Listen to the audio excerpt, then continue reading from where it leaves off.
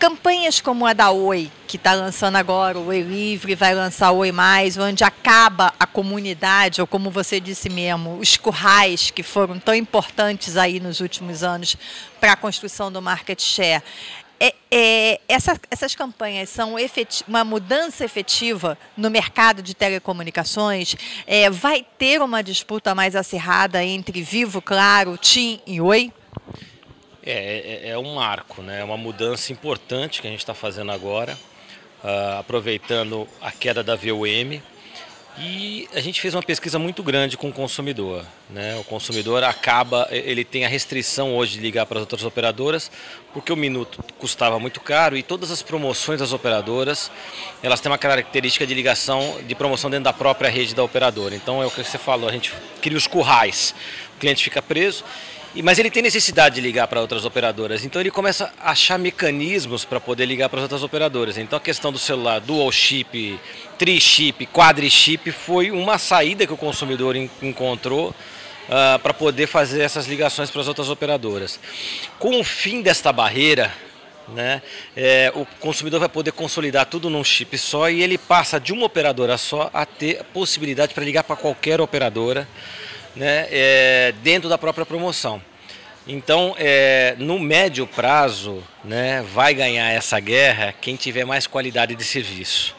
Né, porque, de fato, a questão da, da, da de ligar para operadora A, operadora B, dentro da operadora ou fora da operadora, vai, vai ser totalmente irrelevante. Então, quem tiver melhor qualidade de serviço, maior prestação, uma prestação mais adequada de serviço, com qualidade, atendimento, etc., é que vai ganhar essa briga.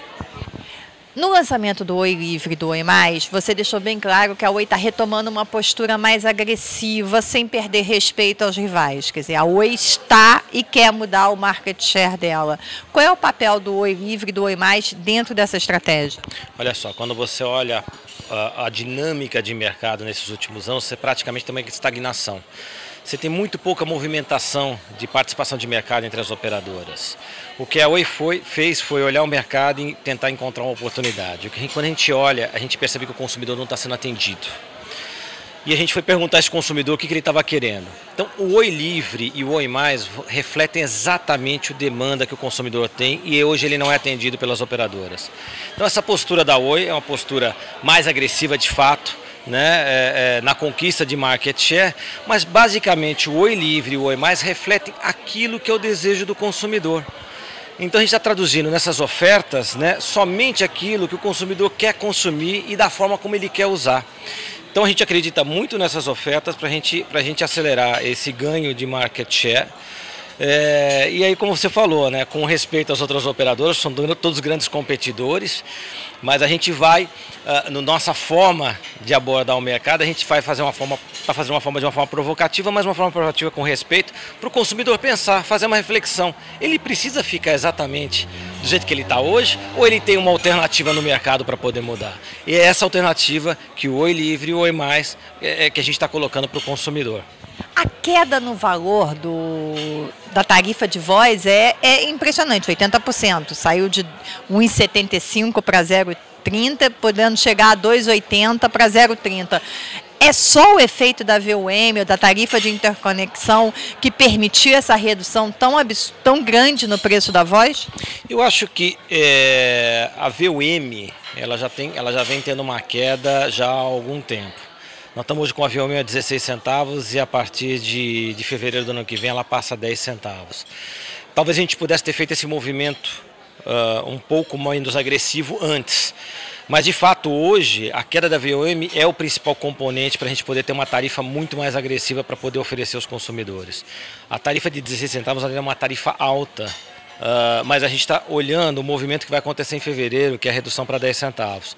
Então é o principal insumo para a gente estar tá oferecendo essa queda nos valores da, da, da tarifa para outras operadoras. Em dados, a Oi está colocando o pacote a 400 mega de dados livre. Você colocou que isso é bom porque você não tem que tem a questão dos OTTs, que você disse também que não pode remar contra a maré, mas que vocês também não fizeram nenhum acordo do Twitter, onde a pessoa pode ler, mas não pode abrir um vídeo, ou do WhatsApp, onde pode mandar uma mensagem de texto, mas não pode ligar. É, Com esse pacote, não há necessidade de acordos com, com esses OTTs? Nenhum acordo, né? O que acontece é o usuário usa os 400 MB do jeito e da forma como ele quiser. É, assim, a gente não acredita no modelo de oferta onde o usuário é, tem o benefício, mas ele tem um manual para poder entender como é que ele resolve, como é que ele consegue é, é, fazer uso desse benefício. Então, uma oferta que tem um texto legal de meia página, né, que não adianta nada dar a, a aplicativo A, B ou C, mas você não pode fazer tudo o que você quer. A gente prefere, a nossa linha é uma linha diferente. A nossa linha é uma linha de transparência com o consumidor. Eu prefiro dar uma franquia de dados maior para o consumidor e dar liberdade de uso para ele, do que ficar prometendo uso ilimitado, só que não é ilimitado. Né? Você tem uma série de regras que você tem que cumprir para que aquilo se torne ilimitado. A nossa linha é uma linha, dou mais pacote, dou mais franquia para ele, mas ele tem a liberdade de usar e navegar como ele quiser. Essa é a nossa linha.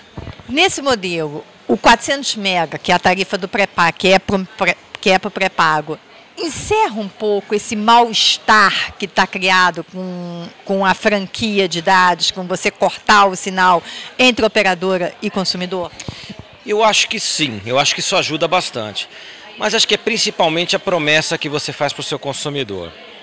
A gente não está prometendo uma franquia e está mudando a regra no meio do jogo, né? ou mudando a regra uh, ah, para, olha, você tinha, agora você não tem mais.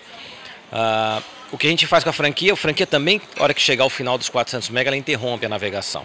E você vai poder comprar um refil adicional. Agora, a franquia de 400 MB, ela é uma franquia tão grande que a gente acredita que na maioria, grande maioria dos usuários vai se sentir atendida. Pelas nossas bases de dados, pelas nossas estatísticas, o uso médio de um usuário está em 300 MB por mês. Obviamente, dentro dessas estatísticas, tem usuários uh, de tecnologia 2G que consomem menos dados que os de tecnologia 3G e 4G.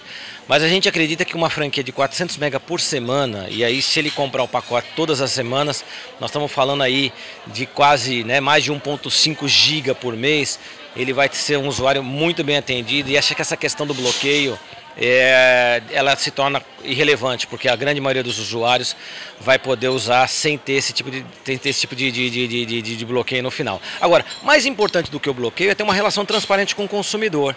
Eu estou dizendo, ao final dos 400 MB existe a interrupção da navegação. Portanto, não é surpresa para o consumidor. Ele sabe exatamente aquilo que ele está comprando. E eu acho que é isso que o consumidor quer: transparência na relação entre o prestador de serviço e o consumidor. A Oi está em quarto lugar no market share, foi a última entrante. Você diria que a Oi quer o quê? Qual é a sua meta com esses novos pacotes? Bom, essa meta é crescer muito em market share.